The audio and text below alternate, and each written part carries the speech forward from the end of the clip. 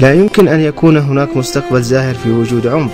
لذلك دعونا جميعا نناصر من أجل مستقبل بدون عنف. لم أفهم وضح أكثر. حسنا. دعونا نشاهد هذا الفيلم وسوف توضح الفكرة أكثر. نعم لنتابع هذا الفيلم. ما شاء الله على بنتنا فاطمة. تعرف تقرأ وتكتب وما قد دخلت في المدرسة. صح وغدا هو أول يوم دراسي لها. إن شاء الله تتوفق في دراستها.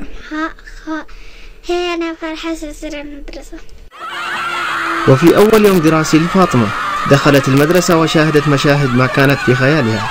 هذه المشاهد هزت. لا لا خلونا نتابع إيش حصل مع فاطمة. يا الله ما ما هذه مش مدرسة. هذه كل الأستاذات ماسكة السيوف يضربوا الطلاب ويصيحوا فوق الطلاب.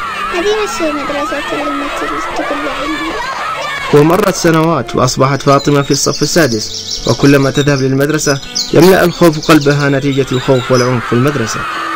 كان مشهد العنف مجسدا في كل أرجاء المدرسة عند البوابة في الساحة حتى في الصف.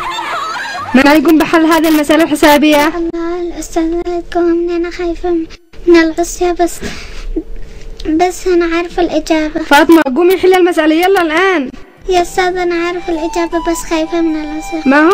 مش عارفة الإجابة. افتحي يدك يلا افتحي يدك الآن. ن- يا أستاذ اديلي فرصة. خلاص ما بش فايدة. افتحي أستاذة. يا أستاذة لو سمحتي اديلي فرصة. لا لا يا أستاذة لا تضربيني أنا عارفة الإجابة. يا أستاذة أنا عارفة الإجابة. افتحي يدك كفاية إهمال وغباء. أصلا ما تفهموا عشان طلاب الضرب. يلا افتحي يدك خلاص كلمة قلت لك يلا. يا أستاذة أنا عارفة الإجابة بس خايفة. يلا يلا معلش يا بنتي ليش بتبكي؟ يما أنا خايفة. من- مدرسة الرياضيات دائما تخلعني لا تخافيش أنتي في البيت وهذا كابوس. ما يصير أروح المدرسة. خلاص خلاص نامي الآن والصبح نتناقش في الموضوع. يا أنا جيت راسبة في الرياضيات. ما أقول لأمي. قولي لها الحق قوم ما تخافيش.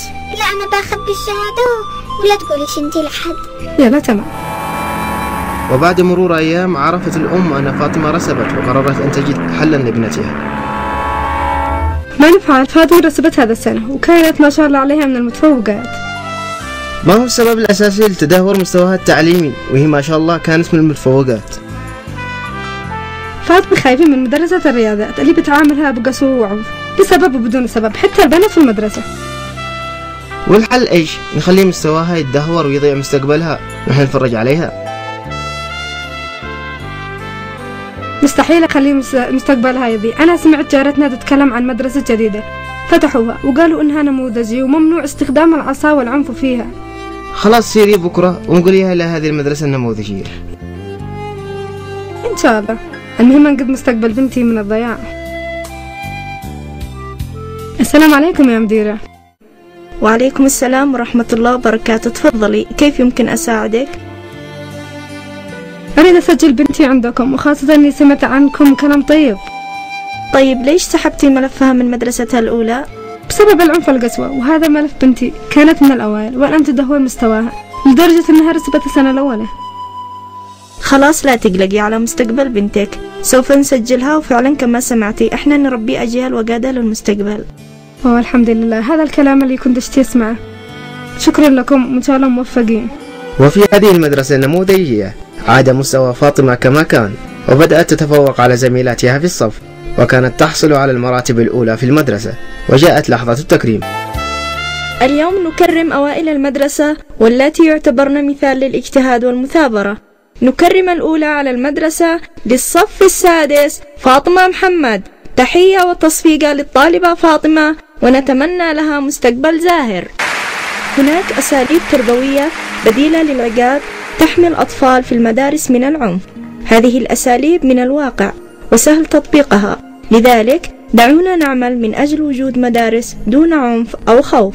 هكذا كان التحول في حياة فاطمة واستمرت فاطمة من نجاح لآخر وبدأت تبني مستقبلها خطوة بخطوة متطلعة لمستقبل زاهر. من حقي أن أتعلم دون عنف وأن أبني مستقبلي دون خوف.